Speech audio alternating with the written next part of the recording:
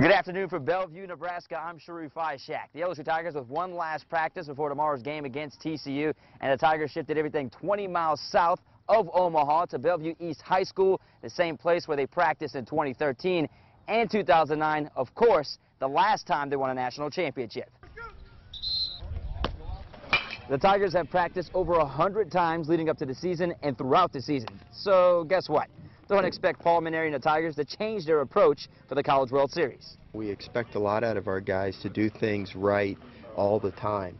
It doesn't mean they're going to play perfect, but they have to have the desire to do things right all the time so that when we get to where we are today in Omaha, preparing to play in a in a the College World Series and hope to win a national championship, they don't have to try any harder. They don't have to be more nervous. They don't have to think that this is all out of the ordinary. A lot of us been here before. You know, a lot of the guys are feeding off feeding off of us because of that, and it's a, we're just ready to get going a little bit, but you know we're staying relaxed. We're very anxious to get going, but uh, I feel like it's a good anxiety, not a like a nervous. There's there's no nervous with this team. I feel like everyone's relaxed, very confident. You know, we're ready to play, but we know that we're not going to rush it. We're, we're not going to be uh, dead when we come out. As you can hear, the entire team is anxious to get out there and actually play a game. The same goes for LSU pitcher Alex Lange, but the National Freshman Pitcher of the Year will have to wait until Tuesday to take the mound.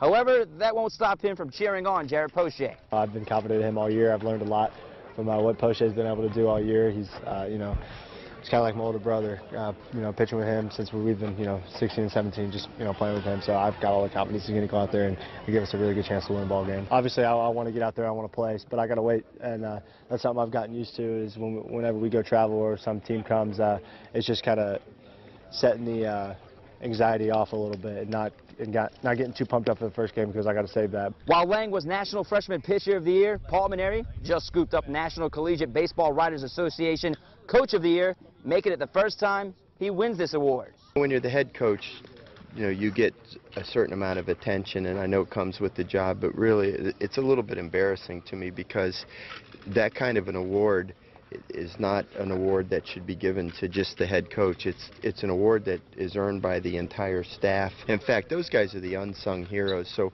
I accept the award really on behalf of the entire staff.